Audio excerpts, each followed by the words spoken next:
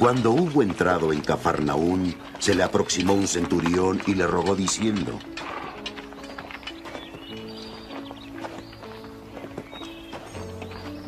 ¡Alto!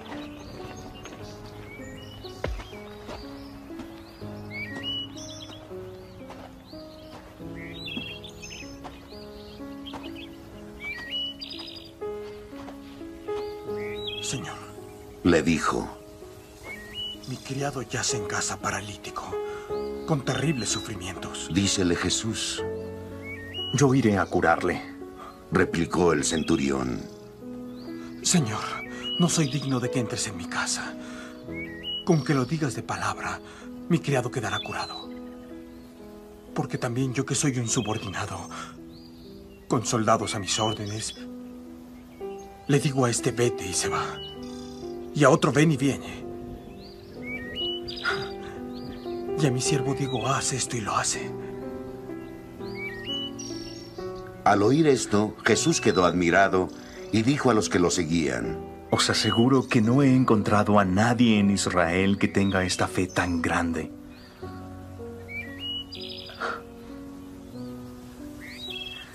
Y os digo que muchos vendrán de oriente y occidente y tomarán su lugar en la mesa con Abraham, Isaac y Jacob en el reino de los cielos.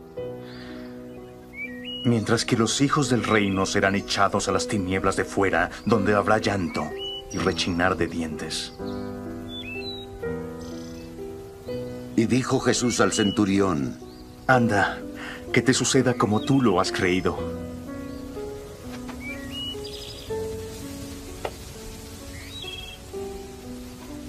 Y el criado sanó en aquella misma hora.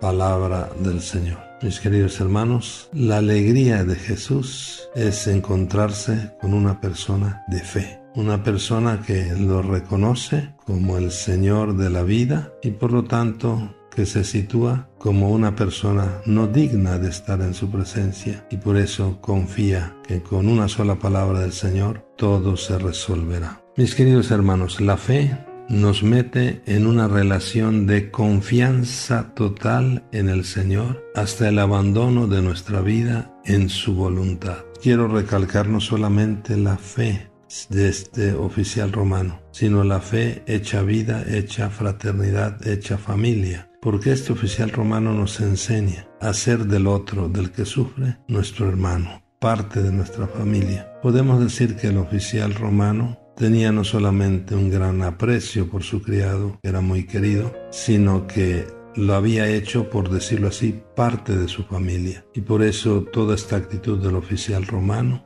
con humildad, con fe, para ser capaz de buscar lo que único que quería, el bien, la salud de su criado. La alegría de Jesús es encontrarse con hombres y mujeres de fe que no dudan de su poder, de su actuar y que se abandonan a su voluntad. Aquí estoy, Señor, para hacer tu voluntad. Mis queridos hermanos, dejemos que el Señor se alegre por nuestra fe, que la alegría del Señor sea nuestra fe y que nuestra fe sea causa de salud para muchos hermanos. Hagamos nuestro al hermano que sufre